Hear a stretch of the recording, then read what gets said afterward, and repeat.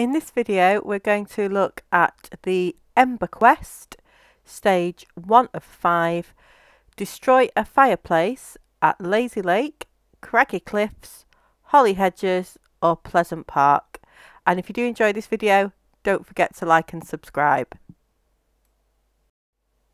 And just to help out, the places where you can do the quest are shown on the map on the right there. I've put a pin on the map from the punch card so that I can go and talk to Ember and complete the Fire Yoga quest line. And that blue pin shows where she is, just north of Corny Crops and south of Craggy Cliffs, in between the two.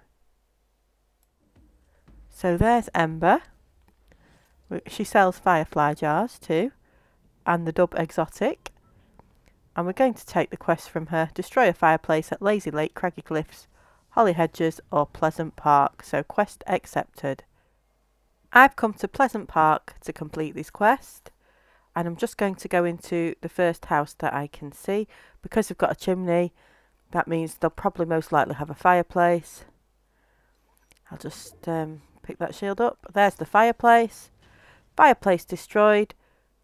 Stage 1 complete. And there's the proof down the bottom.